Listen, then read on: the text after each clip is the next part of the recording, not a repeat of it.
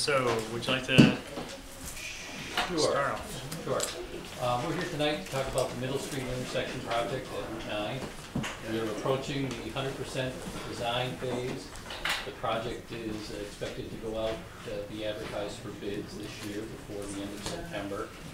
It's uh, federally funded and uh, state funded. And as we uh, go through the final stages of preparing to advertise this and make it acceptable for federal highways to fund, there are a few things that we need uh, basically from the. Um, If I can just go back and give a, a little history, this project is actually over ten years old. Uh, Back around two thousand five, we started looking at what kind of improvements could be made out here at the intersection. Uh, Basically, uh, for the concern of traffic. And we had a meeting, uh, I think it was with the Historic Commission, or might have been Joint Historic and Select Board. And um, we had intended to address that safety issue by adding left turn lanes to Route 9, so that the left turns would get out of the through traffic. And uh, of course, in order to do that, we needed to widen, um, add width to the pavement. And um, someone asked, well, is there any other way you can handle that, uh, improve that safety issue? So we went back and looked at it, and uh, we basically implemented the signal uh, timing that's working out there now. They're eastbound and westbound, each have their own uh, green time, so that anybody turning left out of those traffic streams does not compete with the through traffic from the other direction. So we basically maintained that in this project, but this project also uh, upgrades all of the signal equipment. It actually um, puts a mast arm which holds the traffic signals out over the roadway on each approach, so there'll be four of those mast arms. Today, there's just one that holds uh, one light over the middle of the road, and then there's posts on all the corners. And that's really not a very good visibility.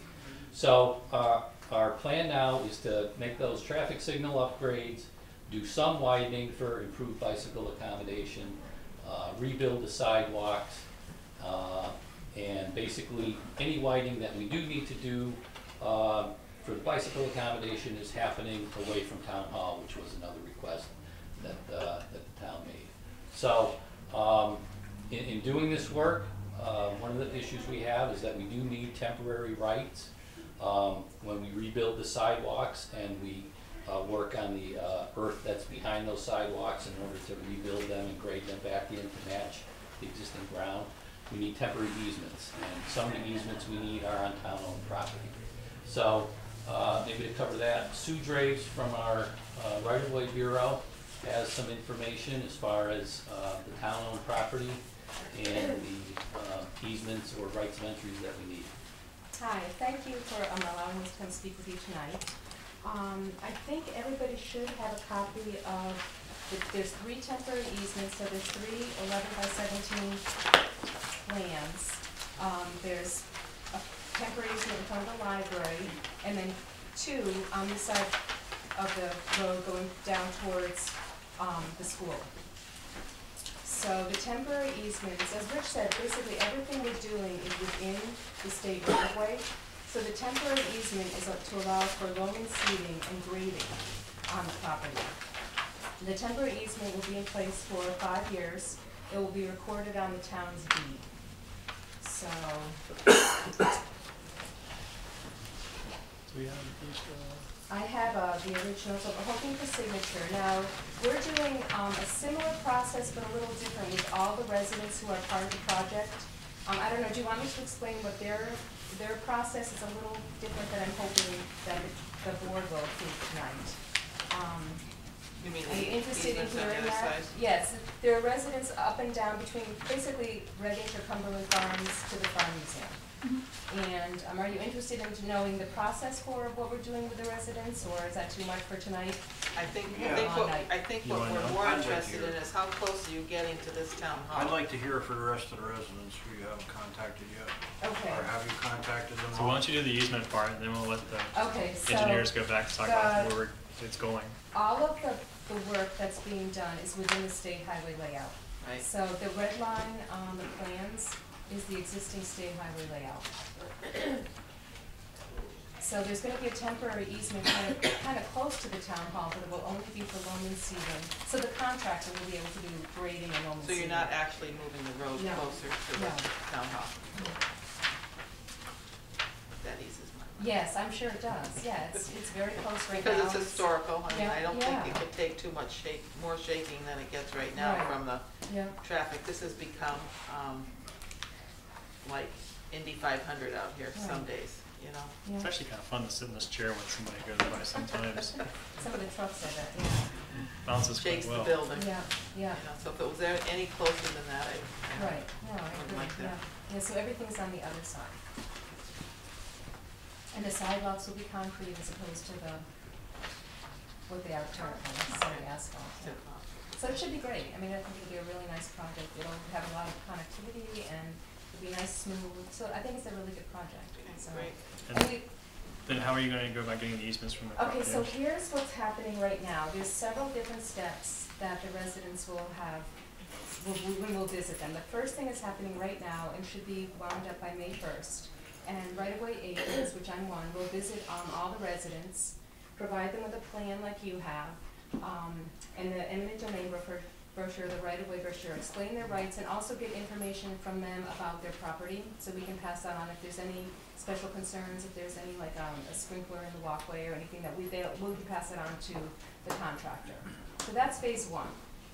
Then after that, um, we'll have a group of appraisers, probably from the state, come out and appraise the property for just compensation.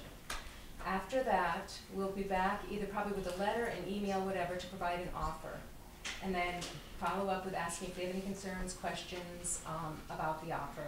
And then the final thing will be, it's called the notification of award of damages, when we will be visiting them again and providing them additional paperwork, which will include the, the notice of award, and then eventually they'll receive a check. So that's, it's a, it's a, it's a long process, but, um, it's very smooth, we wrap it up nice, and, and we give them all of our contact information, if anybody has any questions, they can call at any time, usually, we, you know, email back and forth, call back and forth, whatever, or if you guys ever have any questions. And So So- just, how many temporary easements are there? Um, I How many permanent easements are there? There's no per, there's one permanent easement, um, a utility easement, that's right here. So, but the rest are all temps. I have to count. Um, like twenty, twenty-two. And only one permanent taking? Right, right, yeah, So a- anybody who's, you're talking to and you're gonna have a temporary taken, they get the land back eventually and they can. right. So The it's- easement stays on the deed for five years. Yeah. Yeah. And Any when, other when question? will this process start for the engineering aspect of it to start the roadway thing? Cause we're gonna work with you on doing water lines and things like that.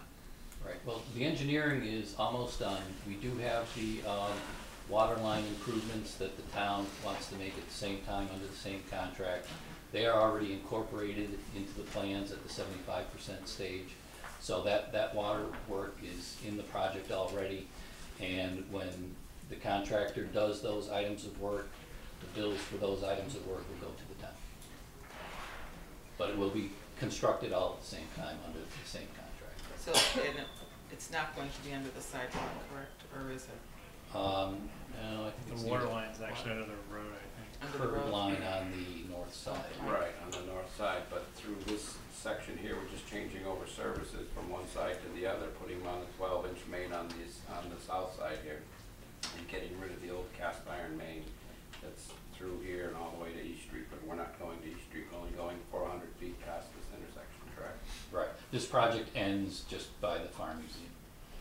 There are future projects that may move to that later. That's So my far. next question. No, I, I, Or, the governor has hundred and twenty million dollars. Are you people involved in going any further right now? Past, up to East Street or past East Street? In the next couple of years, three years, five years, what is your plan? engineering wise. Everybody's asking. Yes, and, uh, Michael Trepanier from our environmental division in Boston is actually going to be managing that future work that we are just getting underway with, uh, engineering, and Michael, would you like? Sure. So I'm here uh, uh, for two reasons. Um, one, in uh, supporting Rich and uh, our team for the Middle Street project, um, and um, dealing with regulatory statutory compliance for the temporary easements on town-owned properties. I can come back to that. Um, but I've also been, um, asked to manage the environmental process and preliminary design process for, uh, addressing a long-term fix for Route nine east of the limits of this project to East Street, and then beyond to uh, Lowe's and Home Depot and the, the uh, Maple Street, the It, it's all north-south been in the Maple Street plan intersections. for over twenty years I Yes, of, so. right. Um, and I'll introduce Mark Kalinowski, he's, uh, gonna be my deputy project manager for the corridor work that we're doing. Um, we have met, Rich and I have met with the, with the, uh, region and talked about, um, funding priorities and, um, availability of resources to, to fund long-term improvements here. The unfortunate nature, um, well, the unfortunate fact is, the region did have some monies appropriated and programmed in the transportation improvement plan for uh, fiscal year seventeen or maybe 16, 17, um, for a segment that was being picked up by MassDOT um, that had originally been done as mitigation to the Lowe's uh, development site. Uh, upon further review of the design that Lowe's had prepared, uh, we found that there was a higher level environmental review required. And we also felt that it should be reviewed in conjunction with the entire corridor improvements that were originally proposed, as I think you're alluding to, ten years ago in the Connecticut River crossing study. Um, so now we're looking at, is the, are those limits of work really the smart, are they smart, they make the most sense? And what are, what are, what do we see as targeted priorities, what does the region see as targeted priorities, and then of course, the next step is to come to, to Well, you well, I guys and think we talk. are, because this is the next step, and the next question I have. You know, they came through with the train. UMass has a subsidiary in Springfield now. Mhm. They're using this corridor for transportation, so I would think that it would take a priority. And, and I, we are, uh, certainly, Mark and I are prioritizing this work as we're pretty excited to be managing it. Um, but there's a process we have to go through. There's an environmental review process. We have to develop conceptual design alternatives, looking at um, what are the existing conditions. Traffic out on this corridor definitely seems pretty unique. There's, I was here at five o'clock uh, watching operations here at East Street, and then um, moved up to, I mean, the Middle, and then moved up to East, and then all the way down. And it's there's no, um, it's not a traditional 5 p.m. peak. It's a little more spotty. Clearly, there's some influence from the institutions and uh, regional movements, but um, that's all stuff we need to look at and determine what's the right cross section, what are the environmental impacts associated with that, and then begin disclosing that through uh, the state review process. And then the third step is the infrastructure, its age, and, and our funding. You know, for the water and the sewer and the rest of our utilities under the road. Right. And We just wanna make sure that everybody's on the same page and aware of what's going on here. Right. And we're just getting started. So, you know, I mean, this, this, frankly, the reason I, one of the reasons I'm here tonight, as I said, is to talk about the, uh, the intersection project that we're, we're, we're nearing completion. Um, but also to kind of give you all a heads up that, hey, we're committed to, to dealing with the, the issues in the corridor. We want to work with you all very closely, um, and, uh, and just let you know, we're just getting started. Which brings me to my last question on your project that you're underway with here right now. The drainage that you're putting all this water into, that's totally falling apart. Um, yep, we're That's aware of that I concern, waiting for. and I think it- mainly that's the pipes that, south of Route nine, that take the Yeah. drainage down to the ditch past the ball fields. And we are aware that those need work, and we will be looking to address them, but not as part of this project independently. So that's something that, uh, we will continue to work with Mike on, and. How much uh, more drainage are you gonna be putting in that existing line right now? Because there's nothing left. Right, there's, again, there's only minor widening happening for this project, just uh, to get the bike lanes in. And, you know, the quantity of runoff, I mean, what we're taking is a little area out of the grass strip that is being turned from grass to pavement. So it's, it's not a really significant change in the volume of runoff. You have be seen the incremental things. DVDs of the condition of that steel pipe. I have. You're all aware of that. I have, uh, I don't know if Mike has seen the video. I have not, but- no. Yes, I've seen the video, and again, um, it's not something that we would be able to address in the timeline of the intersection project, but it is something that we do intend to address and will keep working on. Uh, and one of the things we need, and I think that we confirmed is, um, there are permanently no separate permanent drainage rights even for that outlet across the town property, which should be rectified with a permanent drainage easement. And if the property ever changes hands, that, that right for the drainage will exist. Um, but definitely the condition of the pipes, we're aware of that. And I, and I do have, um, separate state-funded, um, drainage pro, drainage contracts that, depending on the size of the work, I could even do potentially under an existing contract. When we get the exact estimate and know how much it is, we'll have to see again whether we can fund it through that process or not. But it is something that we're continuing to work on, and we're aware of, but it's just not going to be able to make it in time to be done with this project. Which is currently funded on, on Which this is year's currently transportation. funded and needs to be advertised for bids before the end of September. Um, And as far as the other infrastructure in the roadway on Route nine, uh, again, spoken with Mike on that. Um, Our projects realistically are several years away, and I'm not sure that the town infrastructure can, you know, that the town wants to wait that long to do that additional work. Exactly, we just Um, spoke about it at the last meeting. Right. We've got hundred and thirty thousand dollars into repairs and a one point two million dollar water main replacement project for the next stage or the next section of your work. So if, if the town water project is more urgent, then, you know, it can't wait for our future projects, which again are years away. Um, then the town could advertise and do that work separately under a permit. Uh, I know there is concern about the, uh, standard for state highway, uh, work of that nature is that, uh, the trench be backfilled with flowable fill, which is an expensive item. Could that Um, be, could there- be addressed with the state at that point, Well- when, when we do move ahead with it? There, there is a process where if the town requests a waiver, knowing that there are the future roadway projects that are gonna be addressing the roadway and the pavement in the foreseeable future, that you could get potentially a waiver from the need to do the flowable fill. Um, you know, just do regular backfill of the trench, let it settle over the winter, and then repave it the next year, is basically the, the typical waiver that would be considered. Well, So that's we, it. I we mean, can, we we- can definitely do that. So we need to decide My opinion, ourselves. along with most of the board, I feel, we want a good relationship with you people, but we, we need to address our issues also. Right. You know, it doesn't do uh, any of us any good to put a coat of tar over the top of the road and then have to dig it up in two weeks, you know? It doesn't work very well that way. So I guess we need to, now we know kind of there's timeline, we need to sit down and work on our timeline. So, Right, so we're looking at, for the, for, once this work is done here, we'll bring that to, to the farm museum. The the remainder, uh, we, we think, and, you know, this is certainly open for comment, we think that the, the highest priority, uh, to address in the corridor is, is the next intersection at East Street and address some of the geometric and safety issues there. Uh, hopefully get some, improve some operational, uh, capacity, uh, with, you know, new equipment and timing and, and whatever else we determine through our, the, uh, the analysis we're now undergoing. Um, how to make that intersection work best, deal with some of the safety issues that we've addressed, uh, or identified at the Maple Street intersection. There's a, a crash cluster there that we've, ide- that MassDOT's identified, um, on the southeast quadrant. And, uh, and then deal with the corridor as a whole. And we don't know what that means yet, you know. Um, there was a assumption in the, the study that that means four lanes from one end to the other.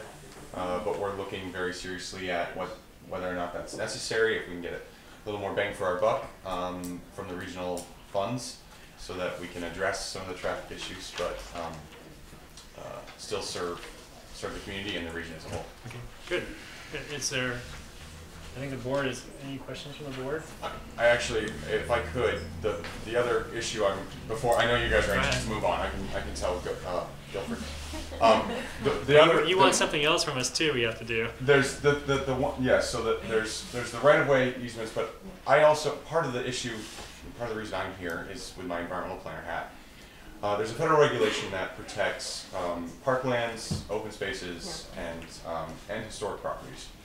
In this case, the two of the temporary easements uh, that are required on these two properties here, the former North Star School and uh, the Hopkins Academy, um, are potential have potential for as to serve as recreational properties.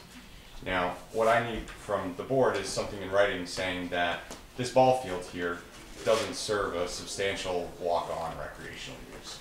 Uh, it appears that it doesn't, but Well, actually, actually what you want is a, a statement from us saying that your project will have no impact on any uses we have on it, is really what you're asking for, right? Well, that could, that would be a later phase if we did if there was a recreational use there. Either way, There is a recreational use there. Beyond school activities. Yes. Yeah. Okay. So we would have to give you, that's really what you're asking for. Right. Well, so then that brings us to a different vehicle where it's very similar to the sign off that you're going to give for the, the property rights. It's um, a determination by this board that the that um, based on the plans we're, we're offering that it won't impact it and that there's no that the temporary occupancy temporary easements don't result in, in the impact. Yes, that's correct. That they're minor, that they're short in duration, and and that the the officials with jurisdiction don't ex- expect that adverse impact. So yes, that's that's correct. And further down the road, we're gonna have to do the same thing if you do move along with that drainage. Correct. Yes. Correct. So we have one question from the audience. Yeah, uh, relative to the, uh, from the building committee standpoint, uh, we had, the uh, building committee did express a concern regarding uh, the uh, widening project and the, relative to the masonry construction of these historic buildings and the vibration that they might see during um, the repair of the surface, especially with this building being, you know, less than ten feet away. And we have the former North Star School, the Russell School building, which, um, you know, certainly is an old brick building facing some issues with the brick and mortar, and of course, we have the, uh, the library and senior center not too far away as well. Part of our concerns have been, what will, uh, will the state take any uh, measures to monitor the potential vibration that tho- those buildings are gonna face? Telltale gauges will not detect the amplitude or uh, the amount of impact of, of vibration that they're gonna see. And uh, we've been uh, expressing some concerns to some members of the MassDOT to try to, um, you know, get some response that, you know, one, are you gonna be taking, keeping an eye on it, and two, if there's any damage, will there be reparation? Yes. Um, two parts.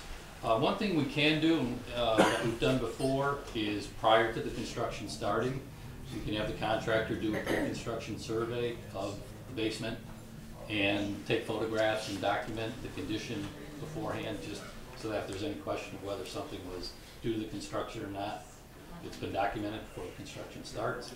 And we can, uh, put in the specifications for the contractor, controls on the compaction and, you know, vibration, so that we, we don't impact the building.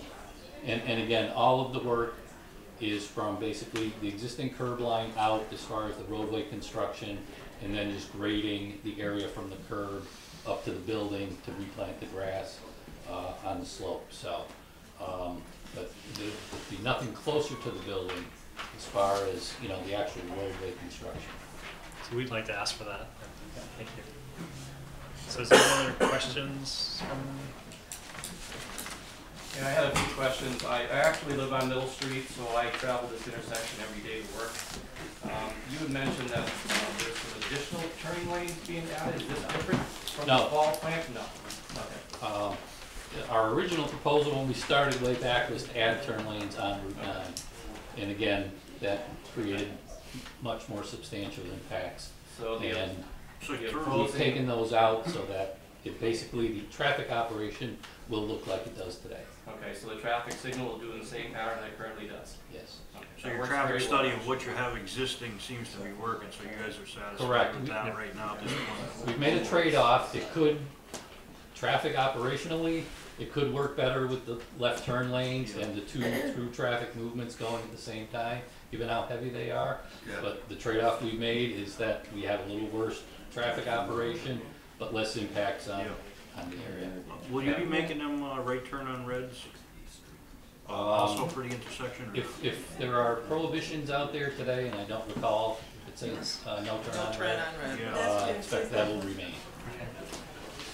Which All right. is nice. So which, excuse me, wh- why couldn't we have a right turn on red. If we have, if we have traffic coming on Route nine from Northampton to Amherst, why on forty-seven coming south, can't you have a right turn onto Route nine? There's absolutely no impact in that at all. It's just, the- Well, I can try to find why we put up the prohibition in the first place.